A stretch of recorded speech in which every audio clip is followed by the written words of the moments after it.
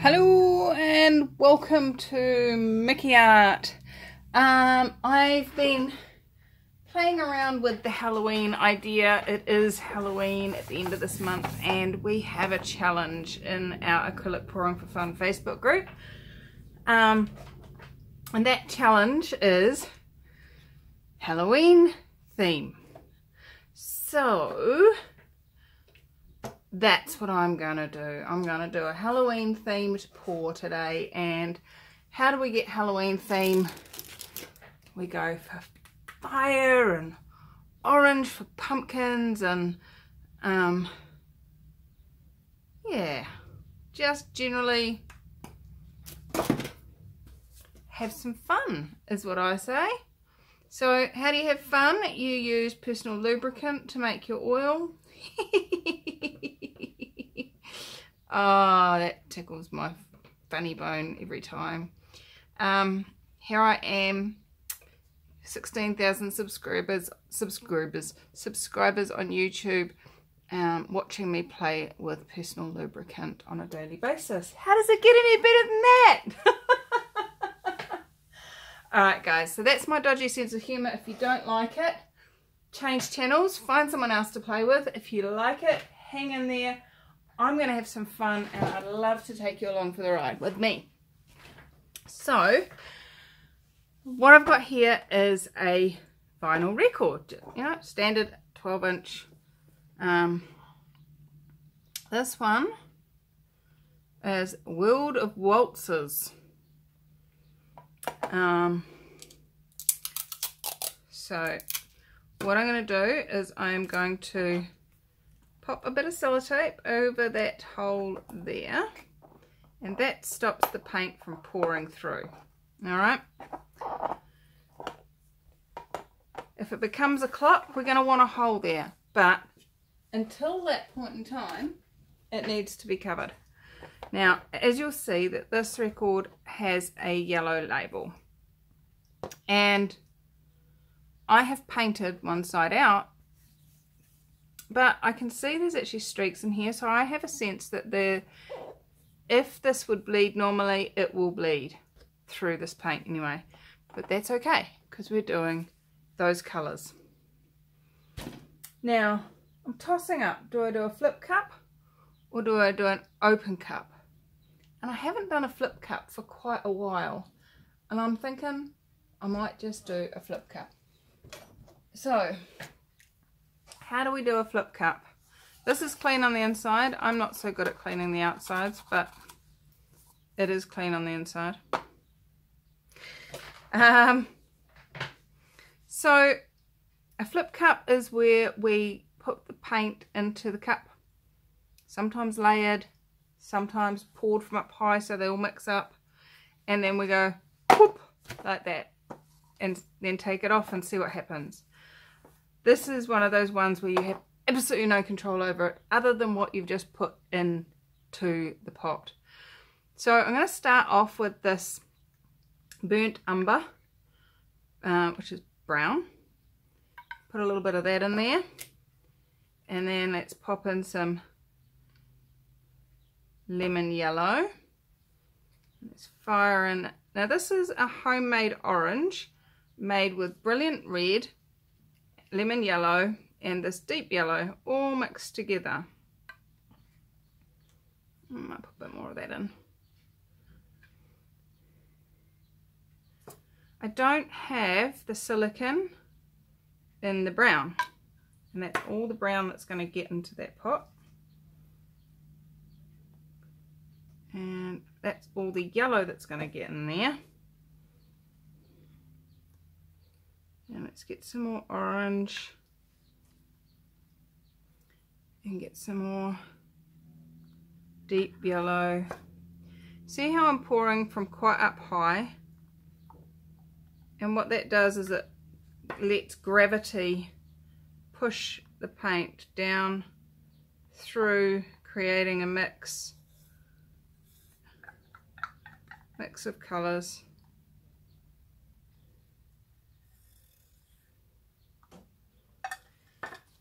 And let's use the last of that orange. There we go. So by doing that high pour thing, you've got high pour.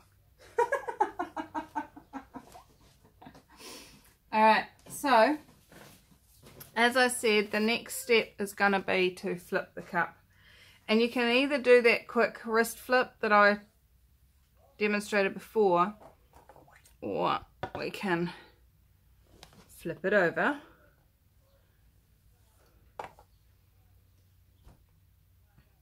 Just going to let some of those paints merge a little bit and then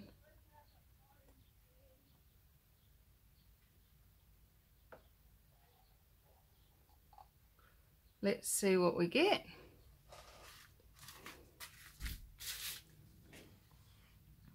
Well, it's definitely very orange, which I'm very pleased about. I didn't want it to be dark, which is why I only put a little bit of the brown in.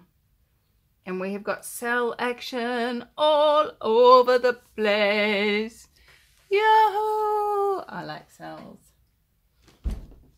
My kids used to watch a guy who um, used to say, it was DanTDM, and he used to play Minecraft. And he'd say, I like gold LLC. I like cells LLC. Let's see how many cells we can get coming up through all of that. Remembering we don't have silicone in the brown. And now we are going to stretch those cells. What I'd quite like to achieve, if at all possible, is a uh,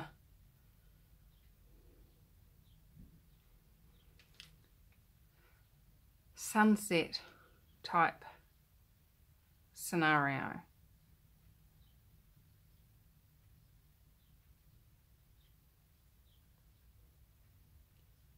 Um, but that may not occur. Some of you know that this is really slow stretching for me, but I've got some really huge cells in there and I don't want to screw them up.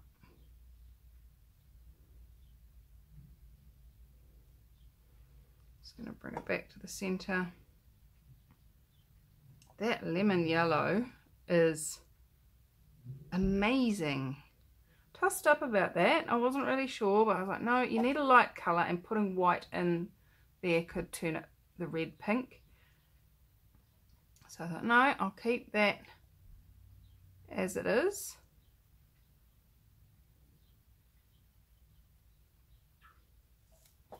Okay, now, as you can see, maybe, can you see? No, you can't. Let me show you. There's a lot of air bubbles in here. And you see all these little black dots? They're all air bubbles. And I want them to pop before I finish stretching so that they can expand out and look like cells as well. So just a, these come from the lemon yellow. That was just mixed. It has got plenty of bubble looking things still in the pot. So we'll we'll forgive them for being there, but we won't forgive them for staying.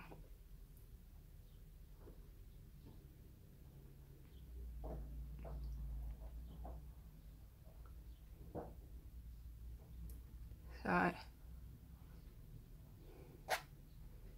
just gonna once again just get it to the side.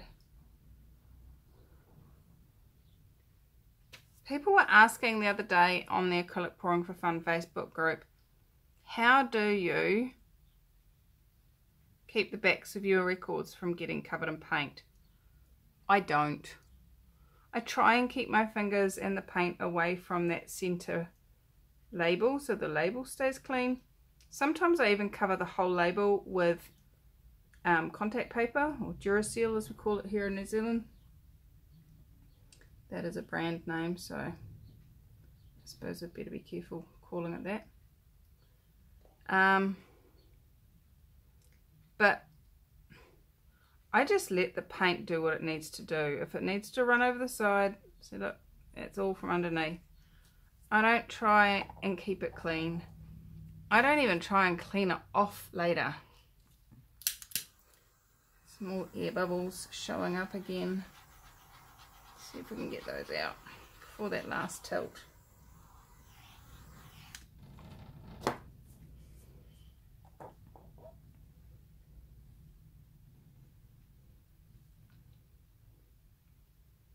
Those are some cool ass cells.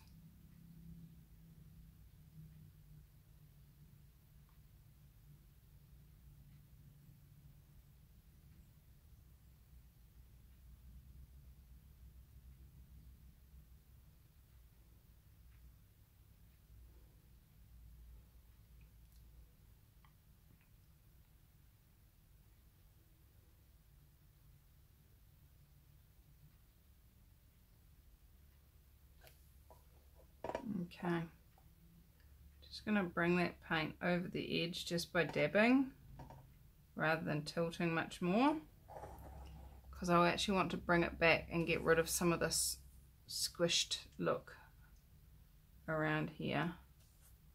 The smeary kind of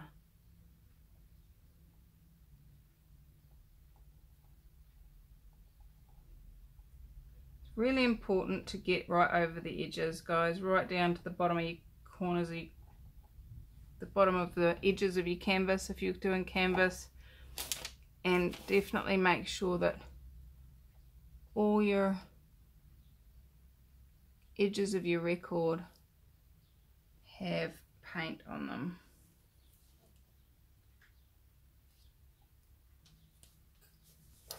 Okay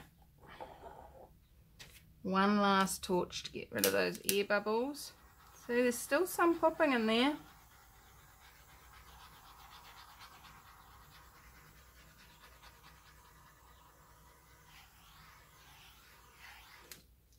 This is one busy painting.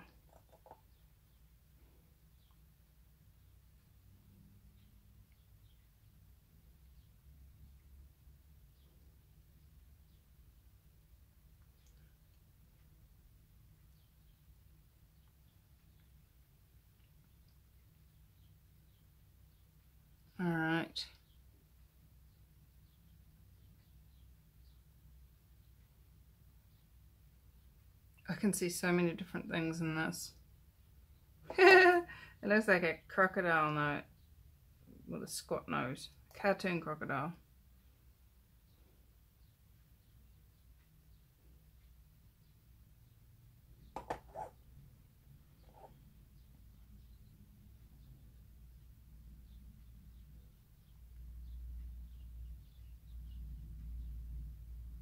Okay, I'm going to leave it at that.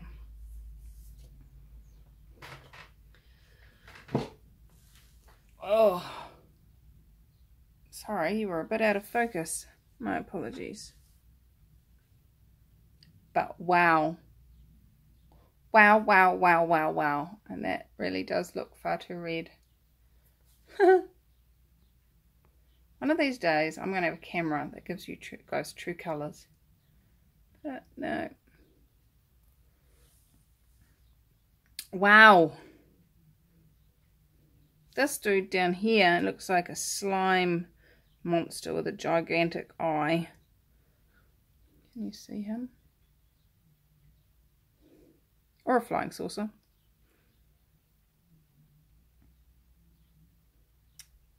That's cool. I could just leave it like that and it would look like all these ghouls had come out for Halloween.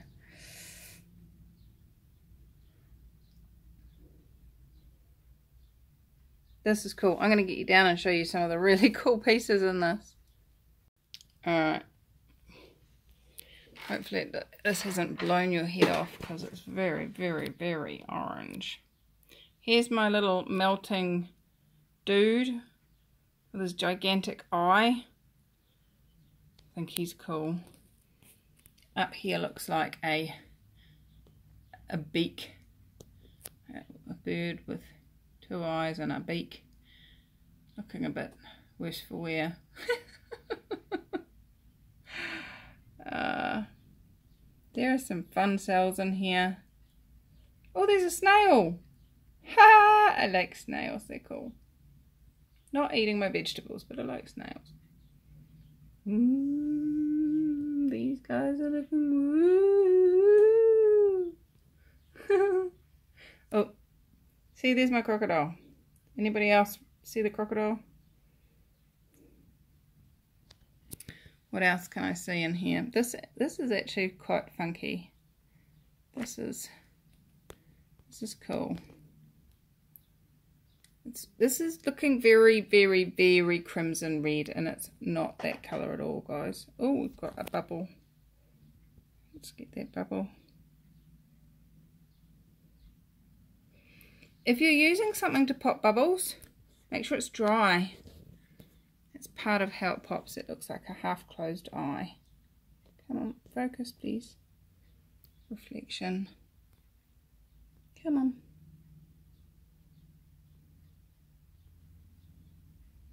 No. Ooh, green alien. Oh, up the other way looks like a frog. You see? It looks like a frog.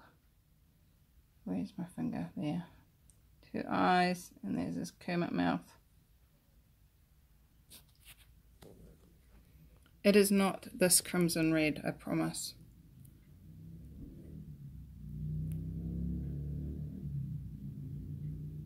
Oh, that's funky, funky cell.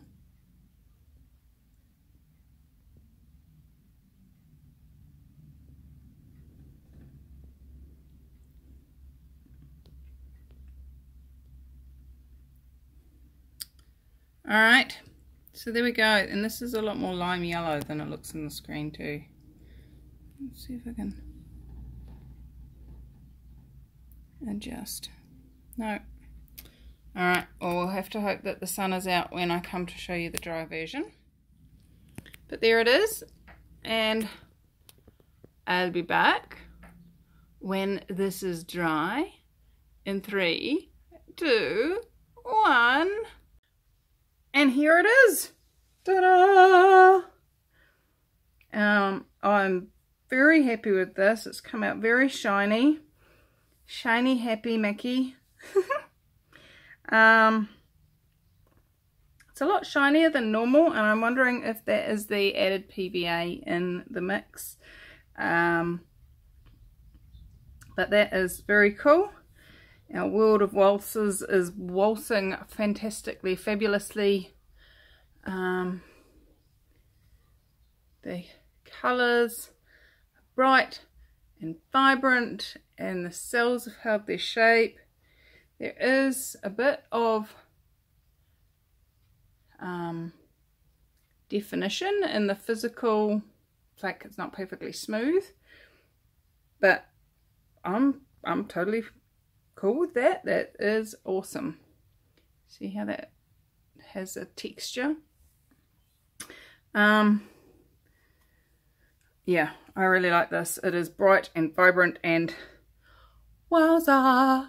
Now, being it a um, Halloween themed month on the Acrylic Pouring for Fun Facebook group and being that this is kind of Halloween colours, it's bright orange and then it's got dark patches and it's got wispy woobly bits.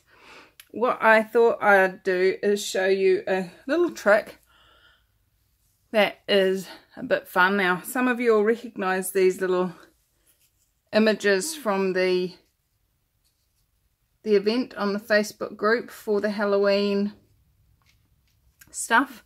And I've only roughly cut these out. They're not awesome. They're just rough cuts. Um, and if you've got something that is a Halloween themed colour style thing, but you don't want to make it a permanent Halloween thing, you can cut out shapes and just stick them on. Make numbers and stick them on. And there you have a Halloween. You're taking it from just being a funky cool thing to a Halloween themed cool thing. There's our little bat up there in the in the ether. Obviously, you know, oh, as I say, they're rough cuts, they're very badly printed, blah blah blah. And I certainly wouldn't recommend, you know, stealing other people's images to sell make and make a profit on or anything like that. Um, this image purely for demonstration purposes. Um, and, you know, if you're ever looking to use an image and call it your own, um, please, please, please follow copyright rules. Sometimes we have a bit of fun with things and um, but never ever ever would I cut these out, stick them on and call them my own as um, you know, to sell. But for something fun, to make something into a Halloween thing just to hang on your own wall, then why not? Um, copyright is all about not making profit from other people's creations. So what magic can you create? How much fun can you have just adding a little silhouette here or there to your to your paintings? Even a um, a plain looking painting that really doesn't have a huge amount of anything to it. You add a witch on a broomstick silhouette, just, you know, use a bit of Blu Tack, cut it out of black card or whatever and pin that onto a imagine if this little lot were flying through the air on a broomstick instead of holding a lolly bag. Um, and it's not a permanent change. It's not something that you you know you're not destroying something or risking making a mess of it or anything like that. You can just unblue tack it and you're away laughing as a painting again. So what else is possible guys? What would you add? Um, what paintings do you have that could be judged up given a Halloween theme? Um, you know, it doesn't take a master artist to print something out on the computer and Blu Tack it onto something already existing. I, I adore you all. How much fun can you have? And if you do make something that's Halloween themed, jump into that Facebook group and post photos and videos and share your YouTube videos of them or whatever you've got going on. Um, that's what the group is for. So yeah, you're more than welcome to come and play. Um, it is not a place where you sell your goods. We don't have special days where you can promote your sales. But hey, if you post something and somebody asks you if it's for sale, you're more than welcome to say, actually, yes, it is. Um, but blatant promoting, no thanks. Anyway, now the other thing that I want to show you, I didn't actually show you me making these in the video. Um, but I did, after I had turned off the camera, get out some cabochons and play with the leftover paint. Let's see how well I can get these to display. So I've got some really nice cells in this one. That one's cool. So they've got that browny orange tinge, but that lemon yellow is really coming through in all of them. They are funky. I like them. And for those of you that are new to my channel or haven't watched recent ones, what I do with these is I dip them into the paint. I just say I've got some paint on my hand, I just dip it in and the paint sticks to the back of the cabochon. It's just it's a glass cabochon. I'll put a link in the description on where to find those on Amazon. Um, And then look at this one. That's so cool. These are like turned out so funky. And then after um after they've dried, glue them into pendant trays and they are for sale. Um, if one of these pops into your brain and goes, I want one, um, please, please contact me before they disappear somewhere else. Um, and they work out at just 25 US dollars, including shipping, um, or 33 New Zealand dollars, however that works in your currency. I think I worked it out, it's about 20, uh, $17.80 British pound. It's quite hard to get a good clear picture of them through the through the glass. I bet it's so pretty. So, there we go. I adore you all. How much fun can you have? And what else is possible that none of us have even imagined yet? Or have fun playing with that question. Bye bye.